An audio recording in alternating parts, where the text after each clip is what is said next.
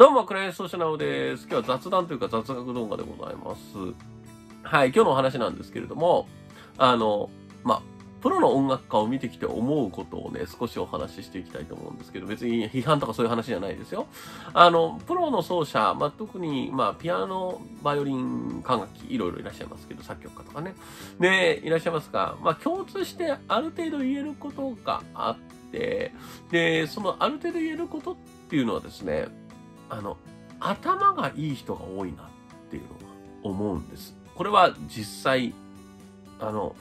多い。勉強ができない人は多いんですけれども、こういうこと言って怒られるな。だから頭の良い人は、お、おあの、もう多いんですね。まあ勉強しなかっただけでいて、あって、あの、勉強はできる、根っからの勉強はできるんだろうなっていう人が多いようなイメージがあります。で、これなんでかなと思ったんですけれども、まあこれはちょっと他の話ともリンクしていくんですけれども、あの、東大卒とか早稲田卒とか、まあ、ま大学でこう優秀な大学卒業した音楽家も多いじゃないですか。で、まあ音楽大学卒業してプロになる方もそういう、まあ地頭のいいというと言い方悪いな。ただまあ、勉強がやろうと思えばできるような人が多いのは、やっぱりその楽器の上達において、ある程度、その、学力じゃないんですけれども、その頭の使い方っていうのが非常に大切になってくるんじゃないかなってすごく思ってるんですよ。私頭悪いんで何とも言えないですけど、ただ、あのまあ、あの、なんというんですかね、頭の使い方という面においては、やっぱりプロの人たちはやっぱすごく練習する方法から、あの、効率よく練習する方法とかいろいろ考えて自分なりのロジックを作っていくっていう面では非常に素晴らしい方が多いと思うんですね。私、それ若手も、あの、もう結構年いかれた方も。で、私、あの、うちの大学、小学大学で、まあ、とある先生がいらっしゃる。名前は出すとちょっと迷惑になっちゃうと悪いんで、とある先生いらっしゃるんですけれども、自分の師匠ではないですが、その先生がですね、えっ、と、東大行くか芸大行くか悩んだ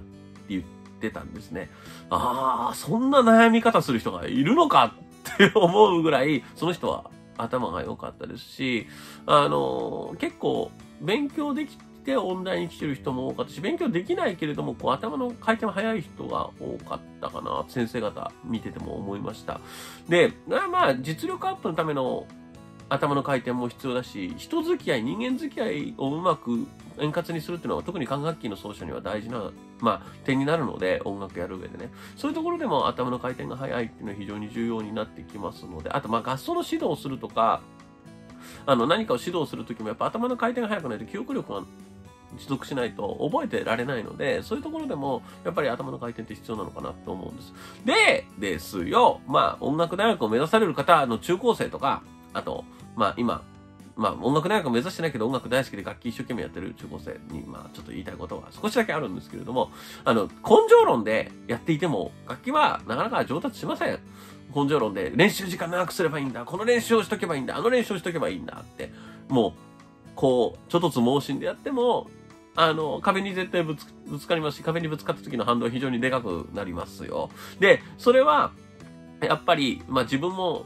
かなりの壁にぶつかってきましたけど、その都度一歩引いて考える、考えて、それを解決するっていう能力、やっぱり非常に頭を使わないといけないわけです。で、まあ才能とか云々は抜きにしてですね、やっぱ頭を使って考えるということを日々、日頃からしないといけないんじゃないかなっていうすごく思うわけですね。で、一、まあ、特にプロ目指して音大に行きたいって方は、勉強したくないから音楽大学に行くという方が一定数いらっしゃいます。で、これ大きな間違いで、私、あの、勉強したくないから音楽大学に行った人でプロになった人を周りで見たことがありません。な音楽の勉強をしたくて音楽大学に行く人とか、プロになりたくて音楽大学に行く人、学校の先生になりたくて音楽大学に行って学校の先生になる人っていうのは必ず、まあ音楽の世界で仕事をされています。実際ね、それは自分の望んだ結果じゃないかもしれませんけれども、まあ私の友人の中で、やっぱりその音楽の教員にどうしてもなりたくて、あの、音楽の教員になった方何人もいますし、まあ実際プロ目指しててプロになった方もいらっしゃいますし、まあ、基本的には、あの、なんていうんですかね、一生懸命勉強を考えていたし、勉強もしていました。で、何かからこう、逃げるために音楽大学に行く人っていうのも一定数いらっしゃるんですが、そういう方はやっぱりちょっとうまくいってない方が多いかなと思います。まあ、要はですね、まあ、あの、常日頃から音楽に夢中になって楽しむってことと、あとやっぱ何かぶつかった時に考えるっていうことをね、した方がいいんじゃないかなと思います。だから、数学とか物理とか、まあそういうところ苦手な方は多いと思いますけれども、音楽やってる方で。音楽って結構理系です。考え方としては。それも答えのない理系ですよね。多分。で、だから、ある程度その、なんていうかね、数学的とか物理的な、その物理的って言うと、物理の知識的なって意味ですよ。能力があった方が、まあもし上達を短期間でしたいんであれば、中高生は多分いいと思いますので、あの、数学苦手だからといって、数学の、まあ、考え方とかね、あの、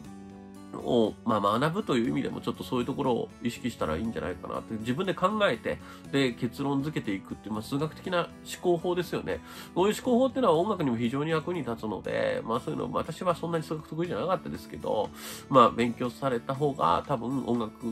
の楽器の上達にも役に立つつまり普段の勉強って役に立たないんじゃんって思ってる方がたくさんいらっしゃると思うけど結構役に立つんですよ。言ってみても。あの、自分は今、会社の経営もしてますが、むしろ会社の経営がメインですが、あの、会社の経営と数学とか、物理の考え方ってすごく、あの、近いものがありますから、近いというかもう、なんか、考え方、思考法としては、あの、近いものがあるので、まあ、普通の計算だったら算数だけで十分なんですよ。足し算、引き算、割り算、掛け算ができれば、あの、お金の管理はできますから、それだけでいいんですけど、そうじゃなくて、こうなった時どうすればいいのか、ああなった時どうすればいいのかっていう思考法って、これはまあ仕事においてもすごく重要で、だから、あの、あの、中高生は、あの、音楽も楽しんで一生懸命頑張ってほしいですけれども、まあ、ぜひぜひ数学の勉強とか、数学の勉強じゃなくてもいいんです。あの、論理的な思考ができればいいと思います。で、一流のプロの人たちは論理的な思考ができている方が圧倒的に多いです。で、と、才能だけで上がる方もいらっしゃいますけれどもね、中にはね。基本的には、まあ何か壁にぶつかった時は、あの、論理的に考えて、論理的に解決していくってことをやっていますので、まあ、あの、勉強はした方がいいよっていうお話をね、今日したくて動画にさせていただきました。まあ、漢字が読めないな、王さんが言うのもなんですけれどもね、全然漢字が弱くて読めないな、王さんが言うのもなんですが、私が言うのもなんですけれども、ただ、私一応、あの、中学受験してますからね。で、結構勉強してました。小学校の時も幼稚園の時も。で、やっぱ、その時のこととか、あと高校のやっぱ物理にハマって、やっぱりすごく物理を楽しんでたっていう時期がありましたが、その時の経験がすごく今に生きてるなって思いますので、その、なんていうんですかね、まあ音楽、吹奏楽に夢中になってる方たくさんいらっしゃると思うし、まあ音楽大学受験される方は音楽の勉強ばっかされてると思いますけれども、まあ、あの、そういう数学的物理とか、まあ、理系的なね、